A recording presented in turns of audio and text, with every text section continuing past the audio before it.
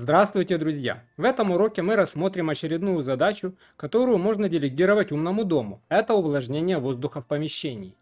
В рамках этого кейса используется самый обычный увлажнитель воздуха с ручным управлением при помощи ручки регулятора. Она единоразово устанавливается в положение, которое обеспечивает комфортный уровень увлажнения, и все дальнейшее управление происходит через управляемое реле или розетку. В текстовом виде весь код, показанный в уроке, доступен по ссылке в описании.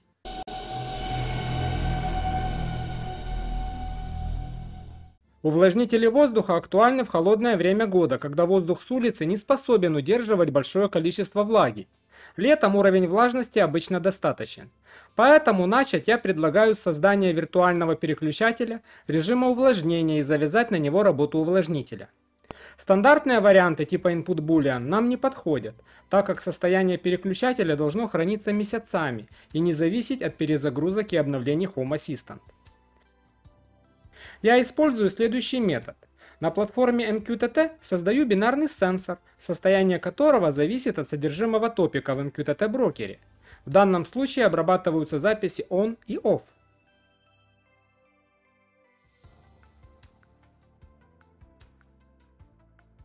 А в качестве переключателя будет использоваться сущность switch на платформе template. Статус свеча синхронизируется с состоянием созданного нами бинарного сенсора.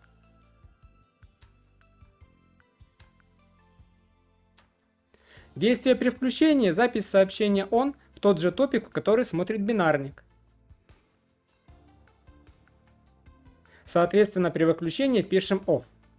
Таким образом, у нас имеется полностью виртуальный выключатель, привязанный через бинарный сенсор к записям в MQTT брокер, которые он сам же и меняет. Теперь создадим сущности, учитывающие остальные условия, которые должны соблюдаться для включения увлажнителя. На базе платформы TOT Time of Day создаю сенсор, который будет активен с 9 утра до 10 вечера. В остальное время увлажнитель работать не будет, чтобы не мешать гудению. Согласно примеру, про который я рассказывал в уроке 8.4 виртуализация, создадим темплейт-сенсор, который будет следить за состоянием окон. Он станет активен, если хотя бы одно из окон будет открытым более 30 секунд.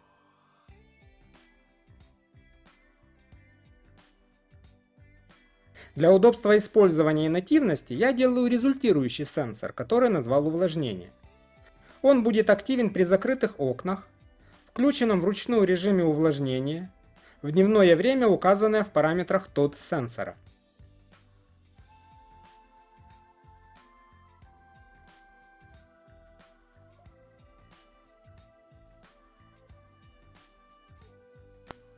Для установки уровня влажности я использую стандартную сущность input number. Она выглядит как ползунок-регулятор. По умолчанию его значение равно 50, это стандартный уровень влажности, я его обычно не меняю. Но при желании его можно регулировать в указанных пределах, я поставил плюс-минус 20%.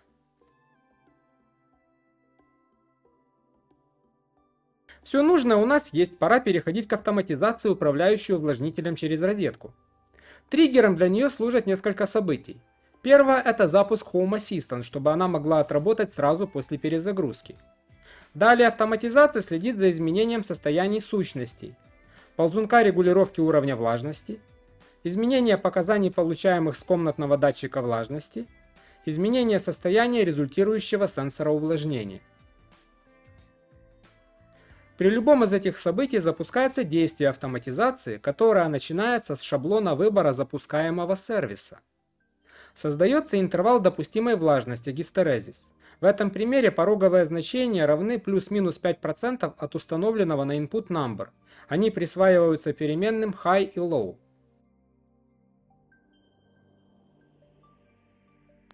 Далее создается переменная, которая присваивается фактическое значение влажности сенсора – После этого автоматизация проверяет условия.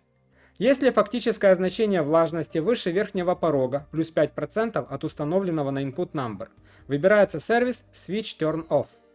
Этот же сервис будет выбран, если статус результирующего сенсора увлажнения будет выключен. Помним, что он проверяет и состояние режима увлажнения, и окон, и времени суток. Если влажность меньше нижнего порога, минус 5% от установленного, и сенсор увлажнения включен, тогда выбирается сервис Switch Turn On. И в конце стоит логическая заглушка. Если ни одно из условий не сработало, то выбирается сервис, совпадающий с статусом розетки увлажнителя. Он ничего не меняет. Теперь, когда у нас выбран сервис «включить или выключить», указываем название сущности реле или розетки, через которую включен увлажнитель. Таким образом, если соблюдаются условия для увлажнения и влажность ниже пороговой, увлажнитель будет включен. В противном случае выключен.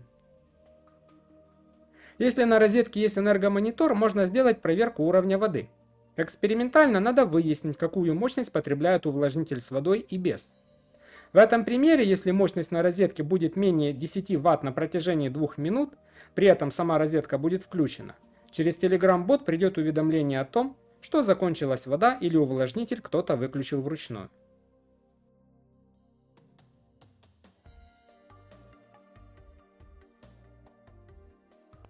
Вот так выглядит созданный нами пакетч.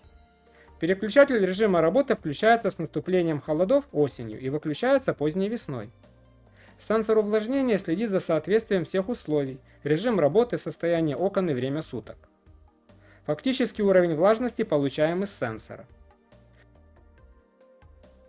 Ползунок, которым можно установить желаемый уровень влажности с учетом установленного порога.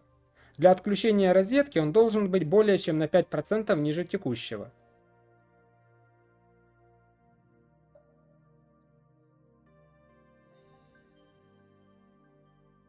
Для включения на установленное в автоматизации значение выше.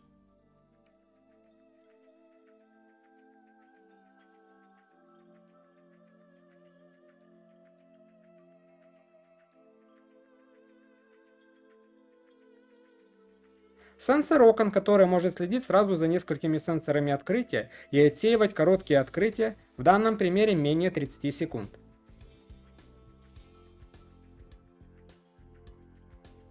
Сенсор времени он активен с 9 утра до 10 вечера. И розетка или реле, в которую включен увлажнитель. При наличии сенсора энергомониторинга можно отлавливать моменты, когда закончилась вода. Показанный в уроке кейс используется и в моей системе, и не в одной комнате. За время работы удалось обнаружить и устранить все косяки и недоработки, так что это совершенно рабочий пример, а не голая теория. Надеюсь, что информация вам пригодится. Если так, ставьте свои лайки, это меня мотивирует. Если вы еще не подписались на мой канал, еще не поздно сделать это сейчас.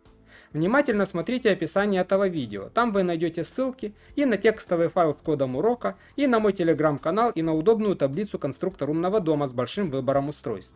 Если вы захотите поддержать мой канал, там же найдется ссылка на Patreon. На этом все, спасибо за внимание.